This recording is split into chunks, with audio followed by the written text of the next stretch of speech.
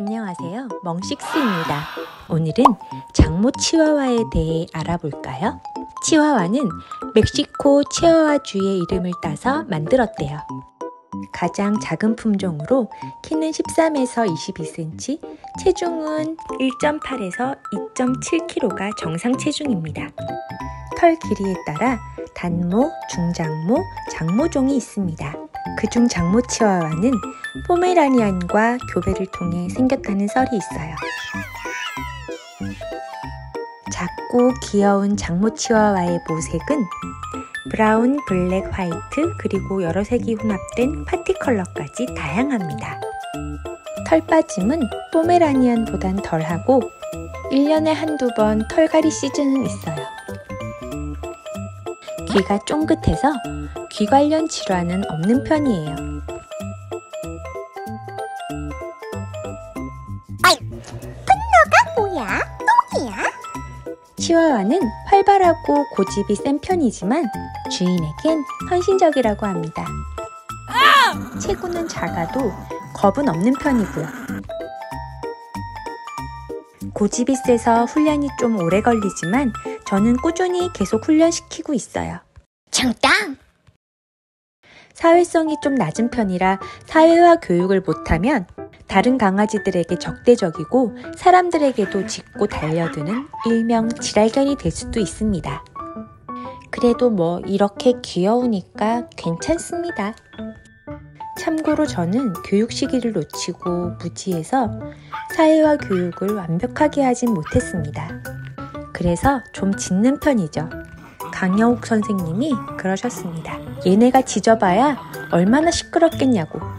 난 아무 짓도 안 했는데 왜 그래 누나? 선빵이야! 평소엔 서로 세수도 시키고 사이가 좋아요. 자기들도 귀여운 건 아는 것 같습니다. 멍식스 치와와들은 사람 좋아하고 애교도 많아요. 치와와의 지능 순위는 67이라고 하는데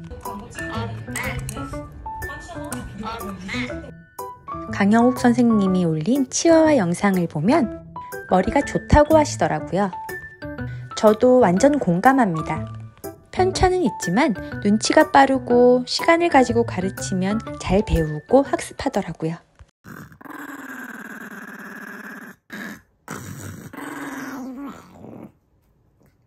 오늘 연수가 참교육을 시켜주겠다.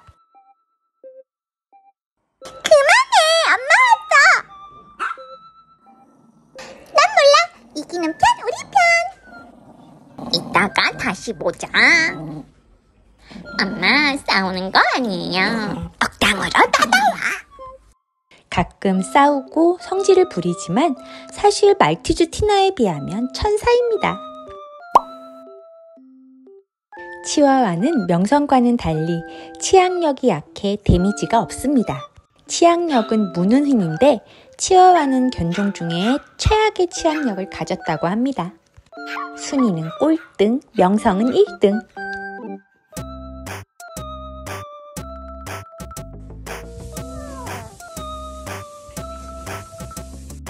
치와와는 몸에 비해 다리가 가늘어 관절이 부실한 편입니다. 이번에 엘리도 십자인대 손상으로 깁스를 했었죠. 내 맴이 찢어져! 소형견들 대부분이 가지고 있는 쓸개골 탈구도 구조적으로 타고나는 편입니다. 다리를 절거나 꾀꽁발로 뛰지 않는지 항상 관절을 잘 살펴봐야겠어요. 산책 끝! 관절 관리를 위해 멍식스는 평생 체중 관리를 했습니다. 우리 집엔 비만 강아지가 없는 이유죠. 나 다이어트